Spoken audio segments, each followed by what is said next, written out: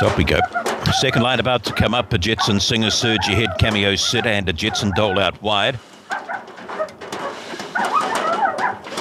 And we're about set to go. Jetson Singer last up.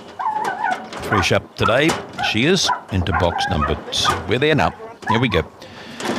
See if we can find a Finkelfoot hero in the early rush here for you. Just about set.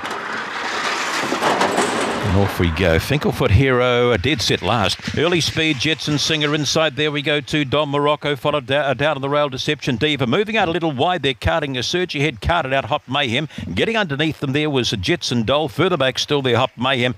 Finkelfoot Hero, you'd have to have twinkle toes from there, one would think. Don Morocco off the top. Kicking hard, Cabio sit into the race comes Deception Diva. Further back there now we go to Jetson Singer starting to run Finkelfoot Hero. They come for home up wide. Cameo sitting down the outside. Deception Diva. Deception Diva, Cameo said, Then we go Don Morocco. When it was all over, Finkelfoot Hero. Back we go Jetson Singer. That's been followed towards the tail hop Mayhem. And back there now to Jetson Dole. And who's the other one back there? Surge ahead it was.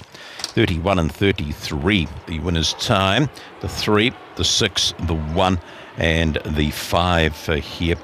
Yeah, that just picked them up uh, late, didn't it? Deception Diva for Wayne and Trace, uh, home in 15 and 41. All over the winner was uh, Cameo Sid halfway down, but this has just gone bang, and away it's gone to win the race nicely. Where have you come from, the three? Going into the first bend, you can see the four wants to run out. Three just sits down on the paint there, the blue dog uh, by uh, King Mick from Kiki Road. A bit of a shuffle going into the first bend and getting away in the early rush was um, the uh, six cameo said favourite just uh, getting those splits uh, just up and gone. Uh, Finkelfoot here look he just last away. He picked a few up late. 474 1592 and